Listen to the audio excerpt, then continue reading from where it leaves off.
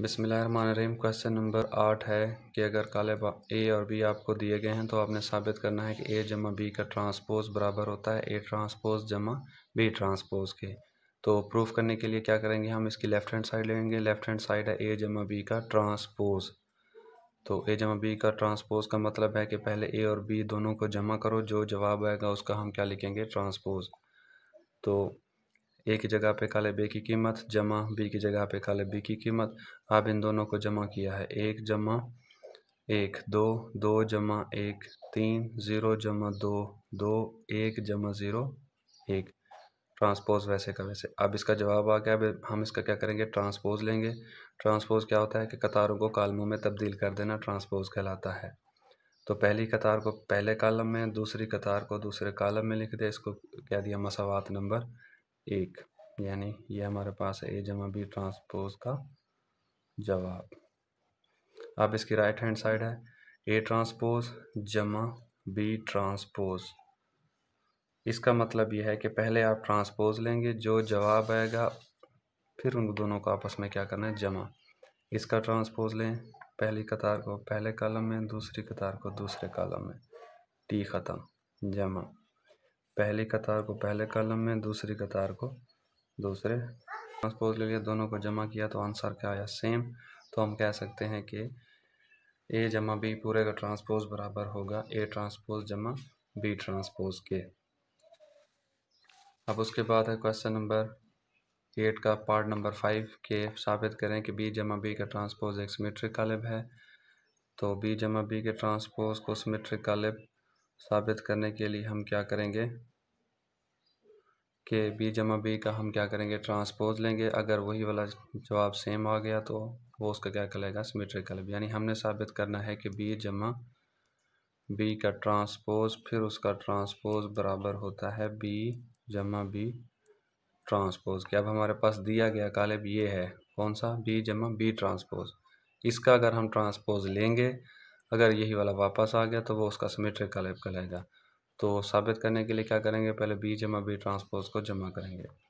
तो बी जमा B transpose बराबर आ गया। बी है एक एक, दो ज़ीरो जमा बी ट्रांसपोज है एक, दो, एक ज़ीरो ट्रांसपोज निकाल लिया हमने पहले ही। जमा करते हैं एक जमा एक, दो, एक जमा दो, तीन, दो जमा एक तीन और ज़ीरो जमा ज़ीरो ज़ीरो। ये हमारे पास बी जमा बी का ट्रांसपोज अब हम दोबारा इसका क्या लेंगे? ट्रांसपोज ट्रांसपोज लेते हैं पहली कतार को पहले कॉलम में, दूसरी कतार को दूसरे कॉलम में। दोनों का जवाब क्या आ गया? सेम तो इसका मतलब है कि बी जमा बी का ट्रांसपोज लिया। फिर उसका ट्रांसपोज लिया, जवाब आ गया हमारे पास बी जमा बी ट्रांसपोज के पस साबित हुआ कि बी जमा बी का ट्रांसपोज एक सिमेट्रिक कालिब है। अब इसका पार्ट नंबर फोर, कि आपने साबित करना है कि ए माइनस ए का ट्रांसपोज एक स्क्यू सिमेट्रिक कालिब है। तो पहले हमें ट्रांसपोज की ज़रूरत है तो इसका हम पहले लेते हैं ट्रांसपोज। पहली कतार, पहले कॉलम में तब्दील हो गया, दूसरी कतार को हम निकालते हैं दूसरे कॉलम में। तो हमने ये साबित करना है कि ए माइनस ए का ट्रांसपोज, फिर उसका ट्रांसपोज बराबर होता है minus N two A minus A के ट्रांसपोज के। यानी जो भी आपको कालब दिया गया है, उसका आप ट्रांसपोज लें। अगर वही वाला कालब मनफी की अलामत के साथ वापस आ जाए तो वो उसका क्या कहलाता है? Skew symmetric कालब।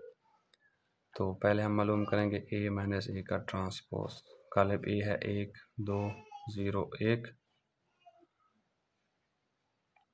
Minus A transpose है हमारे पास। पहले निकाल लिया है। एक ज़ीरो दो, एक। इसका आपस में करते हैं माइनस एक माइनस एक।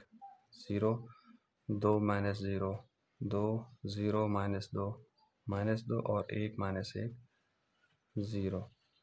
तो ये आ गया हमारे पास ए माइनस ए का ट्रांसपोज। अब हम लेंगे इसका दोबारा ट्रांसपोज पूरे का, इसका हासिल जमा का।